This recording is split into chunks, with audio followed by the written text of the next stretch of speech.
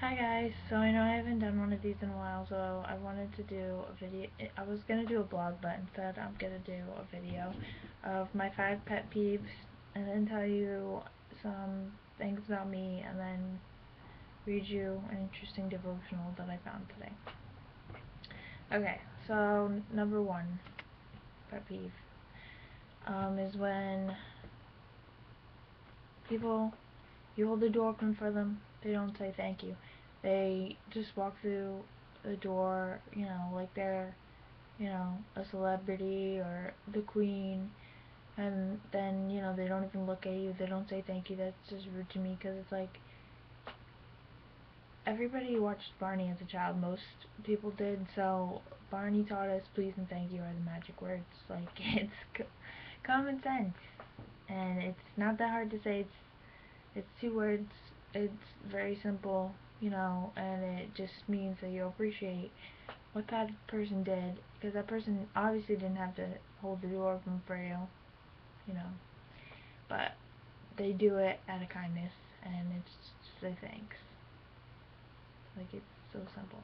Okay, so number two, when people cancel plans after you already made them, um, like, is one thing, like, if the plans aren't yet finalized and then somebody like is like oh you know what? Um somebody invited me to do this or that and I'm gonna do that instead so hope that's okay. But when you buy the tickets you talk about like you're definitely going like everything's set and then you cancel after the, the tickets are bought. And like that's just like completely rude. So that's another one of my pet peeves. Number three, when you have to take classes you don't like in college. Like this semester, I have to take a religion class, and um, I actually I chose like uh, to take this religion class on campus because the first one I took online, but this one I took on campus because I was like, you know what, I'll give on campus religion a try, and um, like I chose it. It was marriage and family, and I thought like I was excited because I thought it was going to be about marriage, family, love. Like we were going to study those things, but we're studying them in a religious context, so we have to study religious theology about it, and like as a child I was raised Catholic, so I just you know I don't I'm not a religious person. I don't believe in religion. I believe in that you have a relationship with Jesus and you don't have to like there's a difference between a relationship with God and Jesus and a relation and then religion. Religion is man-made rules to make yourself um, worthy for God. And then um, a relationship with Jesus involves nothing because he already died for you.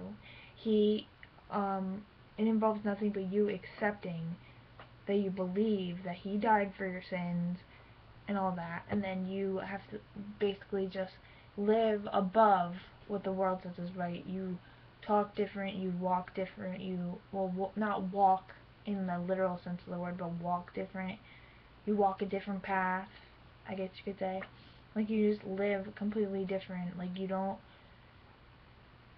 like, I'm not gonna go into it because, like, this is not a video about morals, like, I'm not gonna talk about the difference between right and wrong, like, that's your own, like, you'll figure that out on your own, but there's just a difference between religion and having a relationship with God and through Christ. Like, there's just a difference. And then, secondly, about my religion class that I don't like is my teacher recently said the Bible is not evidence enough to support something being morally right and wrong. And in the context of what he was talking about, like that's usually what people say, but to me that's like an ig that's such an ignorant thing for a professor to say. Because the Bible is the word of God, and there's nothing more powerful than God. Basically, what it says is right is right, and what it says is wrong is wrong. Like there's no uh, let's read between the lines and like think, oh, in that context because it was the Old Testament, oh, it was wrong in that time period, but it's not wrong today. Like that's like saying, um, God, you're wrong. Like everything you have established as, you know, creation and everything is wrong. Like that's like questioning God, and that's like really being stupid, honestly. So, like, that bothers me completely. Number four, when professors take attendance. Professors in college, like, if I went to a public university, I'm pretty sure they don't take attendance because there's like 200 plus students. So it's like I go to a private school, and this isn't high school, but they treat it like it is. Like if I I'm paying for the class, so if I don't want to show up, I don't see why I, I have to.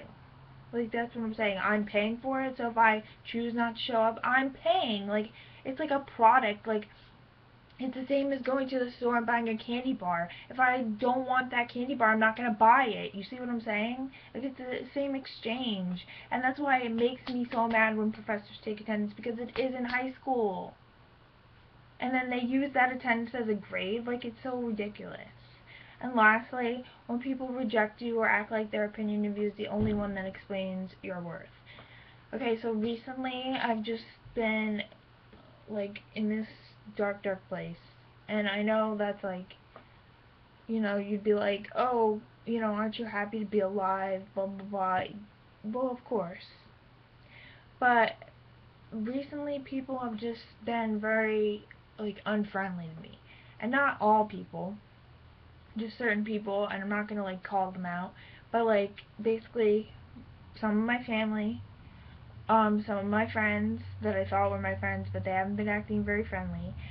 Um, my professors have been giving me grades that I don't think I deserve, and then that makes you feel, of course, that makes you feel worthless. My school is basically threatening to not let me come back next semester if I don't pay my bill when I have two semesters left until I graduate. Like, I think that's just wrong as a writer, like I just like haven't been able to catch a break yet, and it's really disappointing. And like, and then also a lot of people like I try to tell them about my books, and they just act like you know I'm just me. There's nothing special about that. It's like, oh, okay, thanks. Um, and then lastly, by um, employers, because recently I've been trying to get Christmas break employment, and I'm not really getting any good, like, you know, they're not like, oh, we'll give you a job. It's basically, basically because I have, like, no, I've never had another job besides working at the St. Leo Library. So, you know, basically my resume looks like, you know, some high school kid that's never had a job. But, like, it still doesn't mean I'm not a good employee. If they called up my employers at the library, they would see that I always show up, like, I really believe that I'm a good employee and I would do the same for a like a real job than I would with my student job that I have at the library like so. But um be feeling like that even though I felt like that then today I found a devotional that I'd like to read to you guys and then that's basically going to be it. So I'm going to read this to you. It's called Chosen by God um, for we know, brothers and sisters, loved by God, that He has chosen you. 1 Thessalonians chapter 1, verse 4. It is a wonderful thing to be chosen. Every kid who has ever stood in line during gym class waiting for the best athletes in the class to pick kids for their teams knows just how great it is to be chosen. Every budding young actor or musician who has tried out for the school play or the band knows what it's like to stand at the bulletin board anxiously scanning the names on the list posted there to see if they were chosen. And most of us, at one time or another, experienced the shame and pain that came when some vital selection was being made, and despite our waving hand and loud plea, Pick me, pick me, we didn't make the cut. Most of us know what it's like to feel worthless and rejected as we watch others take the place we long to have. We know what it's like to wish we were somehow a little better and a little more worthy so that someday someone would choose me. That's why the greatest message you'll ever hear is the message of the gospel. It's the good news every one of us has been waiting for. Someone has chosen me. Not just someone, but Almighty God Himself. The eternal Creator, the most excellent, most awesome, most high God picked us before the foundation of the world. He looked down through the ages and saw us at our very worst. He saw us fallen from glory and darkened with sin. Yet he loved us and said, I choose that one. No man asked God to do that. No man asked Jesus to go to the cross. Mankind didn't understand redemption's plan. It was a mystery hidden in God. It was God himself who desired to save us. He was the one who asked Jesus to shed his blood so we could be brought out of darkness and into the light of his eternal family. Let the enormity of that soak into your thinking. God chose you. He chose you before you knew him. He chose you before you were righteous. He chose you before you accepted Jesus Christ as Lord. Remember that next time you're tempted to wave your hand in the air and say, Lord, please choose to heal me. Choose me for the blessing. Choose me for prosperity. Remember that He made His choice before the foundation of the world. He picked you to be born again. He picked you to be well. He picked you to be prosperous. He picked you to be a conqueror in every area of life. So stop pleading and start rejoicing. Give a shout of praise and say, Thank God, He has chosen me.